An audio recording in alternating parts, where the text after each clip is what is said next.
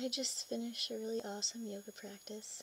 It involved a lot of hatha yoga stretching and kundalini breathing, which is really awesome. It's like a breath work, breath exercise where you focus on your out breath, on releasing, and you put all your focus into that, and then your in breath comes naturally, and you get in like this cycle, and it's really meditative. It's really awesome. Um, my one of my former yoga teachers, Yoga Doug, has a channel, and I believe it's called Yoga Doug, one word, and he has a lot of really awesome breathwork exercises on there. If you are interested in looking further into doing Kundalini breathing, it's really awesome.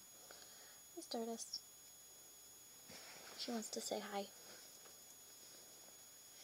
Oh, maybe not. so, I got an order last night for this little trinket that I've made a little bit ago. I was experimenting with this square wire that a friend of mine got for me as a gift because she knew I was into arts and crafts and wire wrapping and thought it was something different that I might like to try. So I got this little bottle, filled it with shells that my mom gave me. She got them from her trip whenever she went to Maui a little while ago. And I filled this bottle with shells and wire wrapped an amethyst crystal to it. And in the process of moving to the Portland area, I remember unpacking it, I remember seeing it, but for some reason I can't remember, you know, I've tried to meditate on it, which is normally what I do when I'm able to find things, and for some reason I just couldn't couldn't grab it, couldn't grab the information. And after today, I have gotten a closer look at why I might not have needed to grab the information. Out of everything that I have made, I have to say that this was probably the easiest to actually remake and have it look identical, which it does. I went on a search for square wire. I went to Michael's craft store and they didn't have any, so I started calling around the local craft places in Portland in the area and I came across this one called the Beads Bead Store or the Bead Source. I think it's the Bead Store. And it's run by a woman who's been, she says that she's owned it for about 20 years now in Portland, and they have all kinds of beads and all kinds of wires, um, shells.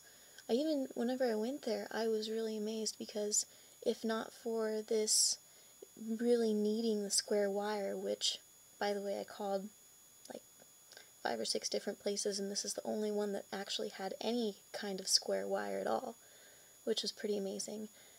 And so I go to this really awesome bead store, and it's totally locally owned. The woman owns it, and she has all these really awesome stuff, not just for materials that I could use, like natural, like bone carved stuff and wooden beads, faceted gemstones, because I use a lot of natural materials or stones.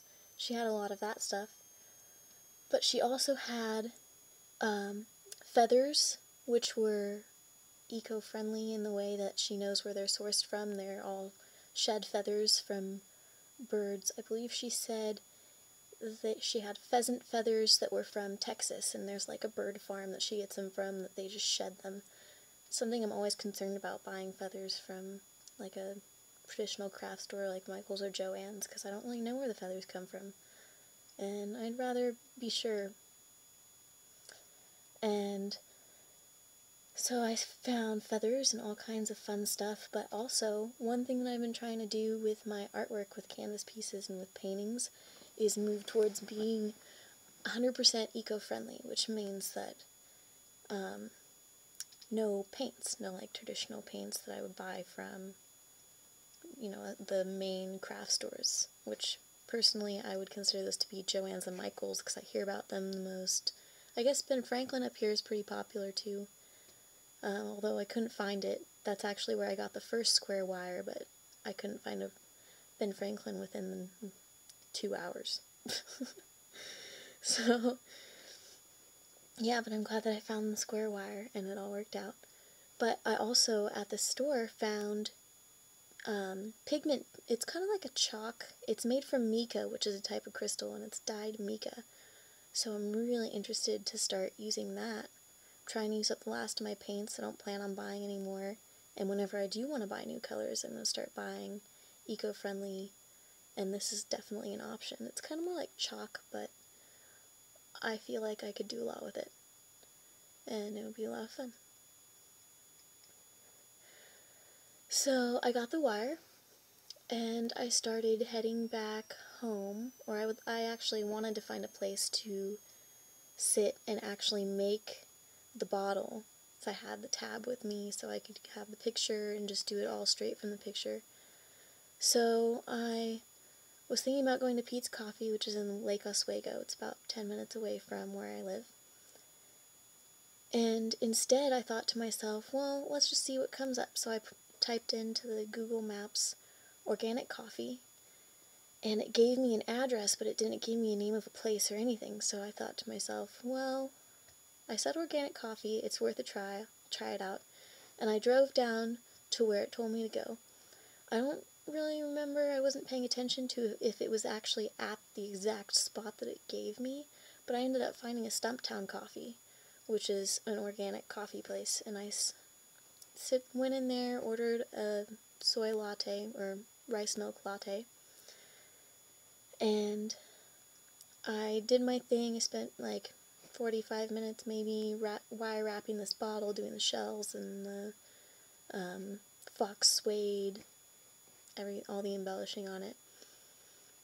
And there was this little girl and her mom who came in shortly after I did, and she was so cute. She was running around and she was like telling there's this lady sitting there with a baby who's breastfeeding and she walks up and she says, I like your baby. and she was just so cute, just going around everywhere, so curious, and she was looking at the art and she and her mom were talking about the art.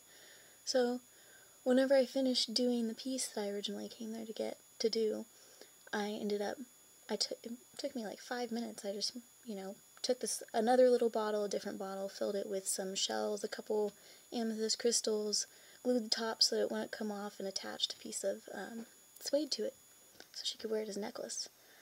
And I gave it to her and told her it was uh, fairy magic with stones and shells and gave them one little story behind it.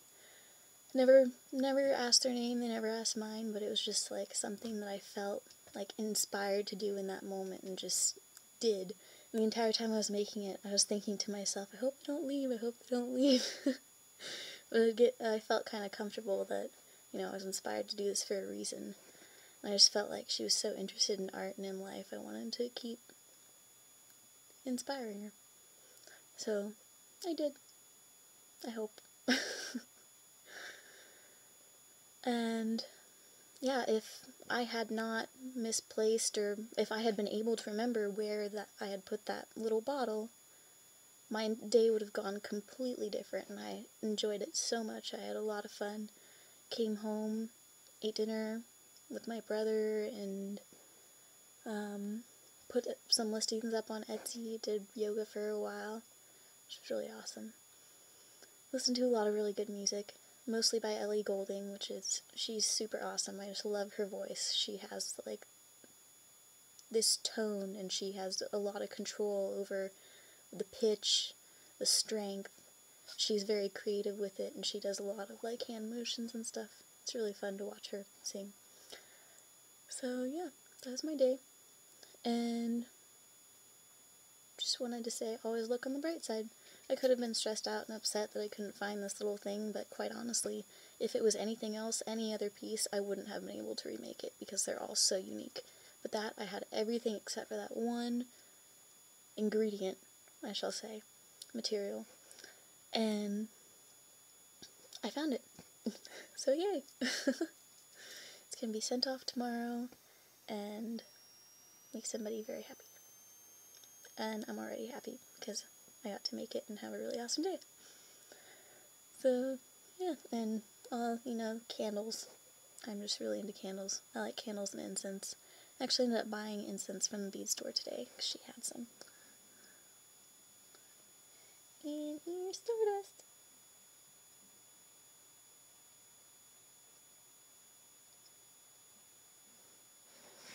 Good night.